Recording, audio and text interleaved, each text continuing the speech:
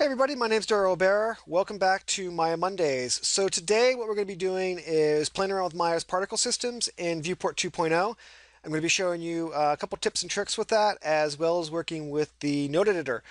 So if you're an expert Maya user who uses dynamics inside of Maya all day, every day, this probably will be a bit of a review, but you still may pick up something. Um, I hope you guys do. And um, if you're new to Maya or an intermediate user who hasn't done a lot with the dynamic system, I'm, I'm sure there'll be some stuff in here that, that, that you'll find useful.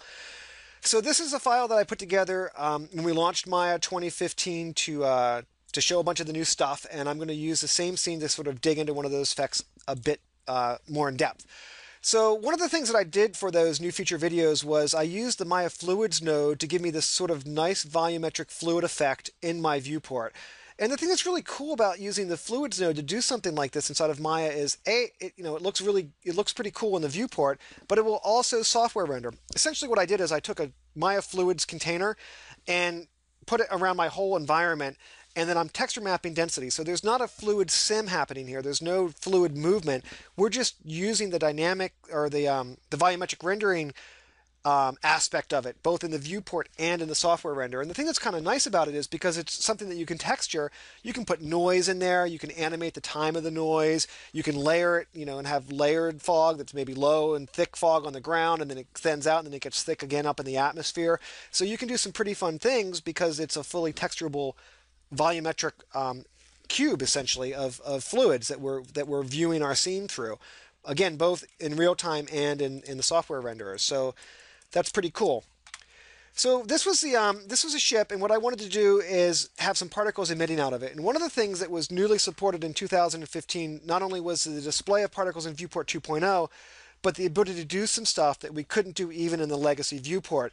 Um, basically, all the texturing information that you would set up on particles or sprite-based particles wouldn't show up in hardware. You'd have to do a software renderer to get to them. So that was something that was newly added in what I wanted to show in that demo with sprite particles. So I'm going to kind of walk you through the process of building that up and and show you you know some some bugs or or some regressions or pitfalls that, that are there as well as some workarounds for those.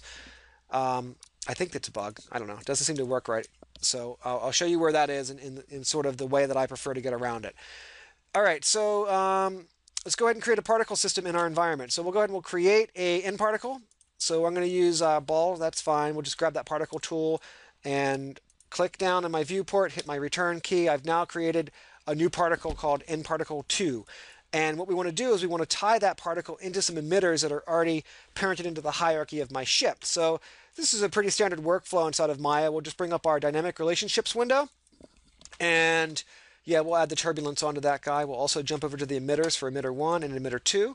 So that guy's in there now. We can close that down. We don't need to see that. So if we just rewind this and play it back, what we have here is obviously a particle system, you know, getting blasted out of the back of the ship. So if we bring up the attributes for this and we start to change some of these to make it look a little bit more like thruster jets, um, I'm going to use a preset to do that. So presets inside of Maya, I use all the time. I recommend making some presets of stuff. It, it just helps you jump around quicker between different snapshots of attributes that are um, currently loaded up in your attribute editor. One of the things that I always do for all the texturing nodes inside of Maya as well as the dynamic nodes, so things like a fluid node or a particle shape node, is I go through and record my own default preset basically I take a snapshot of the node, write what it looks like when you create it. This gives me the ability to roll back into that, you know, default state if I want to. we should probably ship Maya out with the presets already set up as a default preset in most of them, but for some reason we don't, and it's one of those little workflow things that I always do. So I've got this thruster one, we'll just hit replace on that. So it, it does um, a few things. It switches the render type to spheres, it depth sorts them. Um, it's obviously changed the ramp widget here as well as the, the radius and the radius scale. So the way this these ramp widgets work is essentially they're they're driving per particle attributes that are that are kind of loaded up and tied into those internal ramp widgets, which is all well and good for things like spheres and clouds and all those sort of legacy default um, those kind of classic software rendered particles. But for sprite-based particles that use their own attributes for scale, like scale X and scale Y, this radius isn't going to tie into it and it's not going to change the scale of my sprites based on their age. And that's really what we want to have happen. So we're going to have to make some some modifications to those particles to, to get that to happen. And it's again really easy to do inside of Maya if you know where to look. Um, and I'm going to show you two different ways of doing it. And one of them is a little broken, and one of them um, is the way I prefer to do it. So let's go ahead and switch our particle type over to sprites. And when we do that, obviously our sprites now are little cards waiting for text or information to be added onto them, as well as some some scale changes happening to them based on age that we had before. So to to get that scale change to happen, we're going to have to add in some dynamic attributes that are specific to sprites. So we'll just click on General. Just make sure you click on the Particle tab inside of this guy. And what we're going to be doing is we're going to be using Sprite Scale PP for X and Sprite Scale Y PP. So um, the PP at the end means per particle. Each particle can have a unique attribute. So we'll go ahead and we'll add those guys on there. And now what we need to do is essentially have these um, get changed somehow. So by default, a Maya user would think, well, if I right click inside of there, it's going to bring up something and I'm going to get to do it. Uh, so you could have these being driven by expressions or by ramps. And I've talked about ramps several times in my presentations. Ramps are a great utility for uh, modifying attributes, right? You can shove some information into a ramp, use that ramp to massage that data, and then spit it back out. And that's really what this is doing. If we say create ramp, we're going to have the particle age, which is something that's just queryable, have that um, tied into the V coord of a ramp, and then have that ramp change its position. So this is the default way that people would probably think about, you know, adding in adding in um, change in size here. So if we rewind this and play it back, you can see that those sprites are indeed changing in, in scale based on that ramp. So if we jump over to our node editor here, actually let's just go to this guy and get those fluids back on here. You can see that ramp is is tied into that into that nParticle um, nParticle system here. So the problem is if we change a value on this ramp, and it's just a range of 0 to 1, right? If we change a value on this ramp, it doesn't really update, right? Like if we go ahead and we slide this over here, you can see the update's a little broken until I give Maya a kick by moving that viewport. So that's not that's not really the most elegant way. And the other problem with this is if I want to change the overall scale of these guys, you know, I could multiply, I could put a, a higher value inside of here, right? Instead of being one, I could put a value of 10 in here, but you know, you do something like that, and then your ramp gradient gets all kind of wacky, so that's not cool. So then, you know, the other workaround for that, a couple different ways of, of getting around that would be to go down to your multiply, which gain means multiply in Maya, right? Put that to a value of 10. So now we're taking the default range of this ramp, whatever it's putting out, and putting it to a range of, you know, multiplying it times 10. So that lets my ramp be this nice, you know, white to black gradient um, but I have to edit it in a couple different places, and you can see that it, you know, it doesn't really update all the time. If you click on the particle node, it'll update, but it's it's just not it's not an easy way of doing it. Um, so that's why I don't like using um, a ramp widget here. The, the one thing that's kind of nice about using a ramp widget is you you get a graphical node that's outside of the particle shape node. So if you like to see things sort of laid out in a very sort of almost um, procedural way or graphical way, you know, having a bunch of ramp utilities in your chain, you may find easier than actually always going back and trying to use the internal um, attributes that you have to scroll through a list to get to. So it's it's sort of a personal choice thing. Um, I use a combination of both actually. So we'll go ahead and we'll change this guy. We'll just break that connection. So instead of using a ramp to change these, and if we play it back now, you'll see that it's going to be back to everybody being the same size here. What we're going to do is we're going to use that internal attribute. So on this guy, this particle node, um, there is that internal ramp attribute. So I want to make a connection from the particle shape back into the particle shape. So to do that, it's kind of funny. The easiest way to do it is to literally middle mouse button, loop back and drag and drop it on top of itself. It brings up this giant list. Doesn't matter what you click on. Click on any of them because it's going to load up the connection editor. So you can see that we're going to take the output of nParticleShape 2 and have it drive the in particle of nParticleShape 2. So we're creating like a little loop here. But that's that's totally cool. We're going to scroll down to the bottom of the list and grab that internal ramp radius. Scroll down to the bottom of this list, and you can see that the radius PP is is is being driven by it still. That's great if I want to jump back to the cloud or you know um, ball or sphere or whatever. I'm going to also have that internal radius PP drive my scale of my sprites. So now if we close this down and we uh, just rewind this guy and play it back here, you can see that we've got this uh, Let's change that random age to 0.5. Make those guys have a little less randomness in them. Um, you can see that now what we have is we've got a really nice place to adjust these.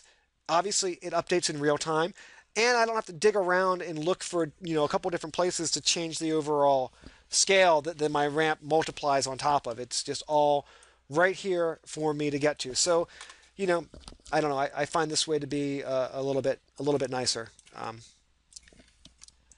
so the next thing that we want to do is we want to start to change some of the texturing information on these guys. So if you just, while this particle system's highlighted, um, scroll down and say graph material on viewport, you know, we'll just graph that shader that's associated with this. So you can see that we've got this particle sampler info node.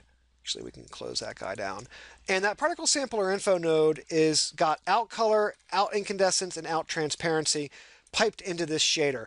This particle sampler info node basically means whatever we're seeing in these ramp widgets for color, opacity, and incandescence, which I don't have expanded out, um, actually I do right here, is essentially getting passed on into um, the color of that shader that's associated with it.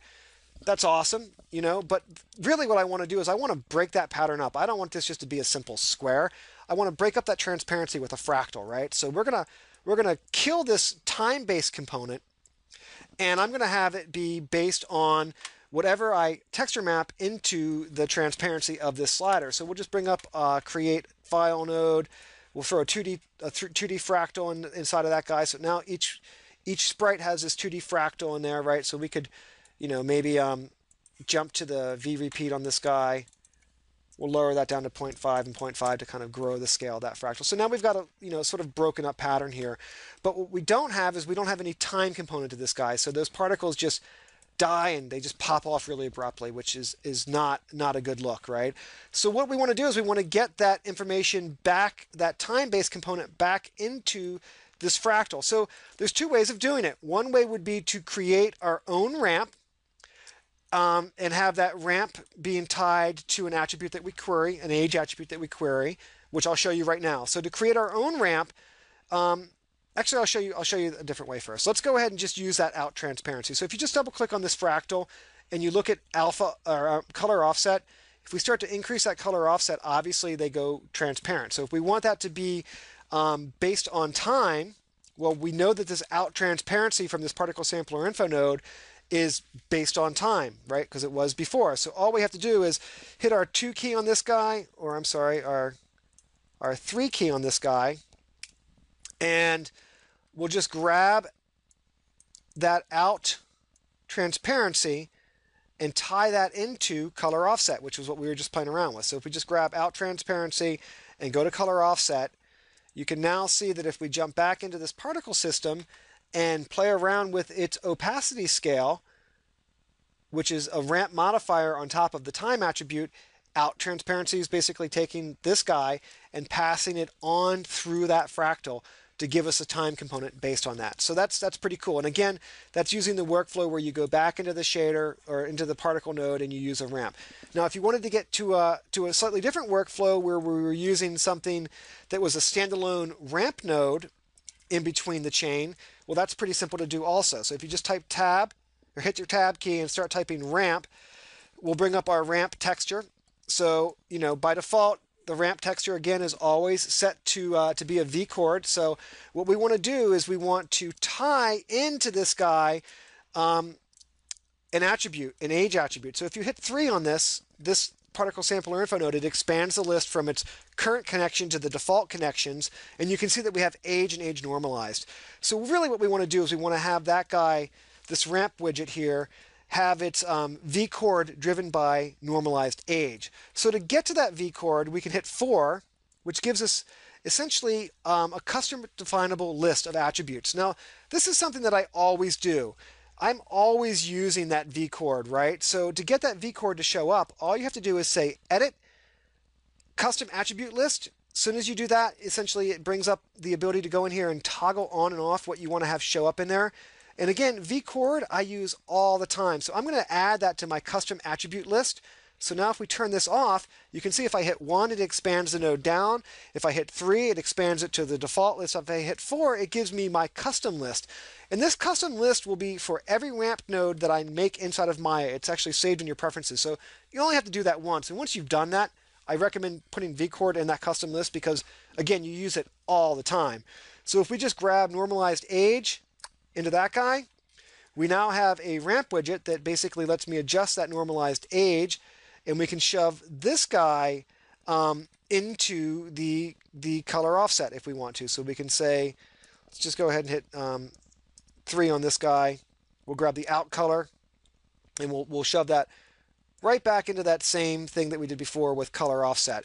So by doing that, we now have a ramp node that we could touch in the UI and use that to adjust the um, the transparency based on age. So it's sort of up to you which way you prefer. You know, some people prefer prefer to do it all on you know using the internal ramps, and some people like to build up a little kind of procedural network that they have um, control over that they can just jump around inside the node editor to work with. So you know, all pretty straightforward. So the next thing that we want to do is, obviously we don't want these guys ending as little squares. So what we're going to do is we're going to go ahead and create another ramp, and we're going to use this guy to create a circle pattern. So if we just go to our ramp and switch this to a circular ramp, make it transparent on the outer edges here. If we just go ahead and um, you know make it a little harsher right there, jump into this blend. Obviously, if we shove that into there, now we're going to have a nice little sphere.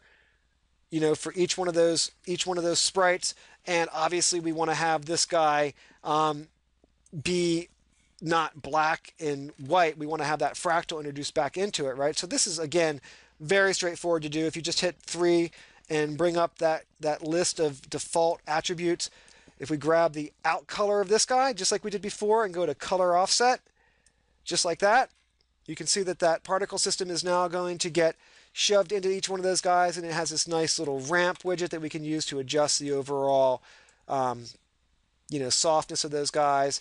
And that's pretty much it. So it's a really simple example. Um, obviously, let's go ahead and just increase that radius of these guys. A little bit bigger there. But that is basically um, how I built that effect up. A couple little utility uh, node workflows using the node editor and hopefully this makes sense to you guys thanks again for watching Maya Mondays i really uh, appreciate it and uh, hopefully you guys you know find it useful cheers